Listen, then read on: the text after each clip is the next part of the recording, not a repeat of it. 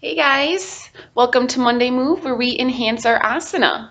So these few videos are going to be um, more focused on standing balances. So last week we worked with the classic tree pose. Today we will hit the, um, the eagle pose. So let's come onto our mats. The easiest way I describe eagle pose is like a chair pose um, with your legs crossed. All right, so if we come to our feet hip distance apart, and we, you know, just hands on your hips, come into a chair pose. So butt back, you can see your toes in front of your knees. The deeper you can come in to your squat, the easier it'll be to get your leg fully crossed over. So let's start with the right leg. You're going to pull the right knee in towards your chest, cross it over, and this may be where you end your eagle pose. Or you can finish wrapping your toes around your shin.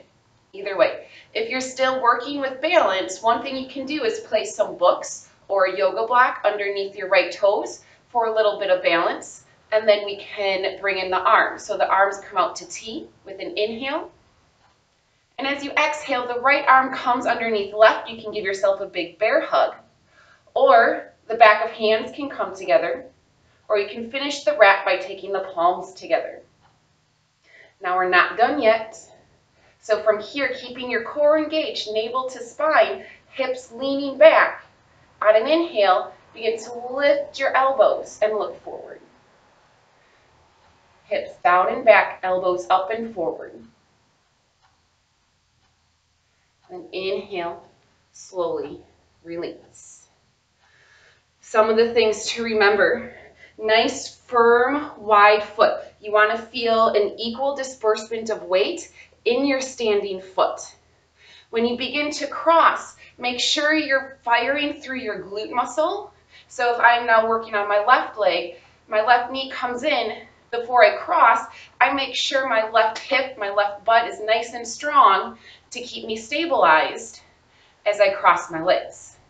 Now I'm squeezing my thighs together. I'm not just laying my left leg on top of my right. I'm squeezing them together and then I'm squeezing my shins together, whether I'm hooking my shin or my toes around the back of my calf muscle or not. So I'm squeezing my thighs together. I'm not just letting this foot hang. I'm pressing that foot in towards my shin and maybe possibly finishing the hook. So that's going to keep your base nice and strong. Hips down and back, core in is going to help stabilize the rest of your body as you take your arms out to T.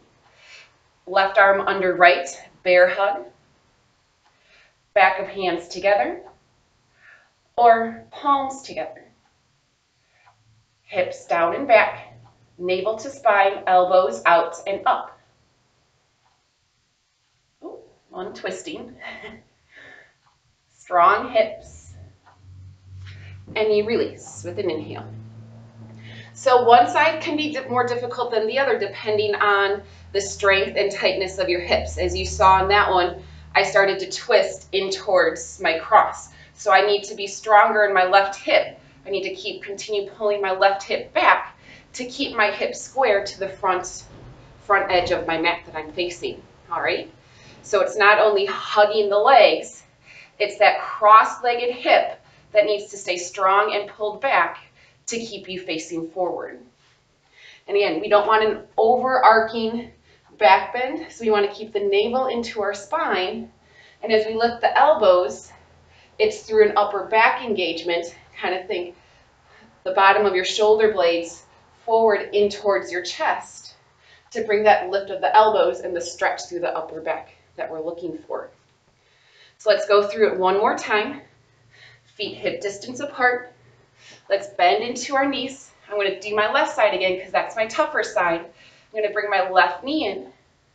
I'm going to cross and squeeze my thighs together, focusing on keeping my left hip pulled back. And I'm going to squeeze my shins together, hook my toes. Outer hips in, left hip back, arms out to T. Sit back a little bit deeper, left arm under right, and then bear hug or wrap the arms.